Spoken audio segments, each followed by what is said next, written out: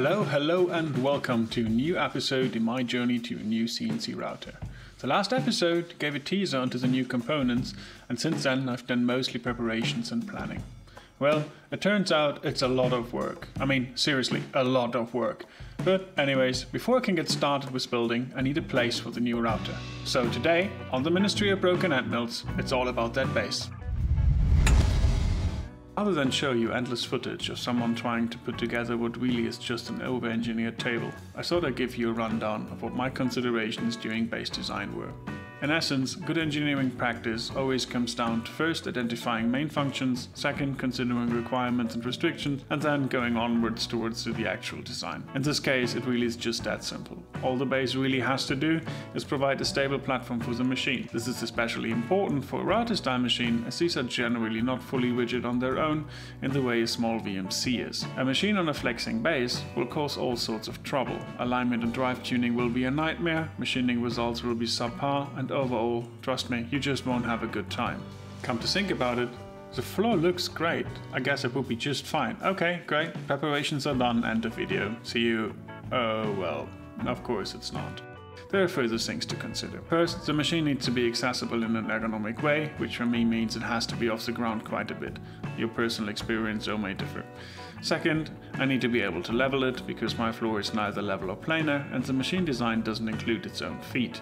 Third, and this is really crucial, I require storage underneath the seat for stuff like a vacuum pump, the spindle chiller, and most importantly, two large cabinets with drawers for tools and toolboxes of all kind. On the side of further restrictions, I have some limitations in material. I don't want to build something like the base from wood, as regular cabinets, which I know from my previous design are of limited stability, and a timber frame construction is rather bulky. Further, I have no good mean to process steel and I have no access to welding. I can't use a welder in this basement and welding a solid base elsewhere isn't an option as it has to come down a set of stairs and around a few tight bends into this basement workshop and likely will have to leave here in the foreseeable future. This really just means one thing and it's going to be aluminum extrusions.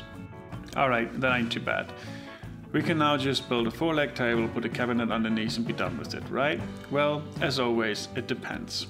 In my case, the router is estimated at around 300 kilos and requires 1500 by 850 millimeters of surface area. The weight of the moving portal is estimated at around 120 kilos. Withstanding static forces is one thing for the table, but a CNC router will also introduce dynamic forces and vibrations on top, which the base must be able to handle. You see, Newton's axiom really are annoying sometimes, and there's just no way to get around them. This is to say that if your machine is accelerating, a force will result. You do remember force equals mass times acceleration, right? And accordingly, a reactive force in the base will follow, which will act mostly in the top xy plane of the base. For small hobby-sized routers, the rapid speed is often less interesting than a decent acceleration, although this is of course is substantially lower than 1g. For the time being, let's assume 5 meters per second squared, although it will most likely be much less at the end. This easily results in 500 newtons that we need to contend with. Going back to our spindly four-leg table, we can conclude that while it would be fine for a 3080 China router or your typical 3D printer, it's not adequate for a larger machine. Excluding the risk of buckling for the legs, there is a good chance for it to fail in its joints and simply collapse due to wrecking. And we just don't want that. Bracing, therefore, is a general answer to a problem like that. If we connect the table legs at the bottom of the legs, we gain some stability as the legs are now no more independent from each other, but they still have a good chance of simply folding over, which means this design doesn't do us any good. Better yet, we use diagonal bracing, resulting in triangles to take up forces which resist lateral forces substantially better. Bracing is required in all planes, however, and so the base does become a bit complicated and cumbersome. Remember the cabinet base storage requirement I had?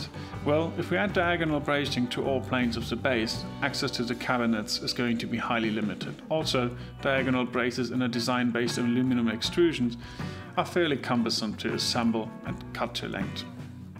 To overcome this, I opted to combine three approaches. One, add corner brackets wherever possible. Two, add cross braces at the back and the side like you know them from typical storage shelving.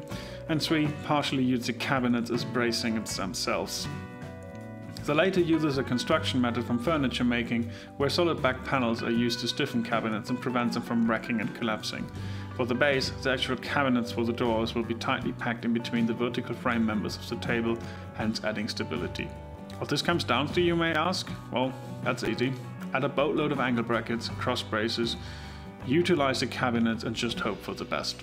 Alright, enough with the endless considerations. Let's have a look at the resulting design while I make the thing in the background. The table is designed using 90 by 45 aluminum extrusion, connected with fasteners that thread into the slots of the profile. Furthermore, as can be seen in the render, lots of angle brackets are used to further stiffen the base. Not shown in the render are the cross braces that will follow later.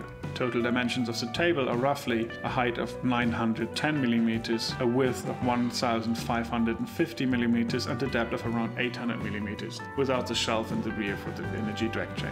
Alright, enough with the prologue, enough with the preparation, so are mostly complete. Next episode, we will have a look at the mechanical design and it's finally about the actual machine. Further episodes will affect the electrical installation and cabinet, the spindle, the pneumatics required to operate the spindle and the minimum quantity lubrication, and of course I will have a look at the Linux CNC setup, which will most likely be a bit more in-depth and rather highly technical. As always, if you like what I do here, please consider giving the video a thumbs up and maybe even subscribe to the channel. If you have any questions, please leave them in the comments below. Until then, see you next time on the Ministry of Broken Endmills.